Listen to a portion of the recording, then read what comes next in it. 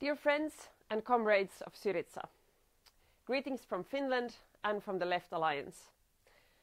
I'm happy to send my regards as our cooperation has always been of great importance to my party and to me personally. I wish to share with you some of the insights that we have learned while working as a part of the center left and green government coalition that aims at transforming Finland into the first carbon neutral uh, welfare state, or as we like to call it, the Popular Front government. As the welfare state was under attack from the previous right wing government, it is of crucial importance that we are now taking part in this government coalition and also repairing damages caused by several years of severe budget cuts. However, repairing the old is not enough.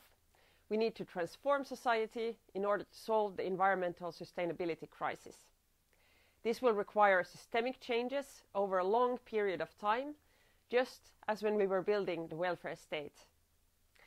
I believe Finland has an excellent opportunity to rebuild itself in line with the principles of sustainable development as a nation with a sustainable social structure, a well educated population, and a high level of technological expertise. One of the crucial elements for this is raising the general level of education. In line with this, the biggest reform and something that I'm very proud of as Minister of Education is that we have raised compulsory education to the age of 18 and implemented free of charge upper secondary education for all. This is something that the Left Alliance has aimed at for over two decades. Dear friends, our biggest challenge is to build sustainable development in the whole of Europe. The current challenge at hand is even greater than before, as security and peace in Europe has been compromised. Our core values as leftists and as Europeans are under attack by Russia's unlawful attack on Ukraine. I believe all our thoughts are with Ukrainians struggling for independence and the right of self determination. International solidarity is of utmost importance. There are no silver linings in a war, only death and suffering. However, Europe is now more unified than in decades, and this can give momentum to strive for something better.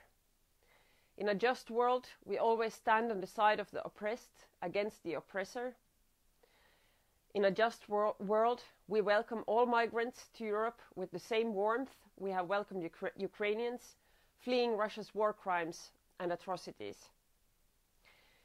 In a just world, we free ourselves from the dependence on fossil fuels even faster than planned to both save the earth from climate change and to stop funding Russia's war against Ukraine and its civilian population.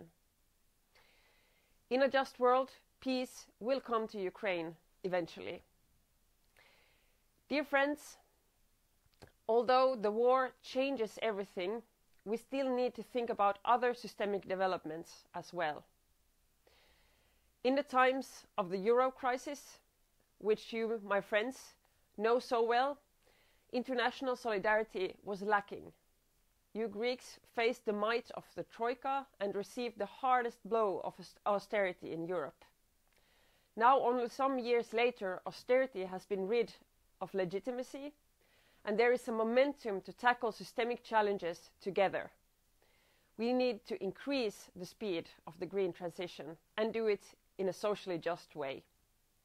Giving Ukraine substantial aid, Europe has shown that we can have unified responses in times of war, and it is up to the left to build responses that show similar determinations in future times of peace.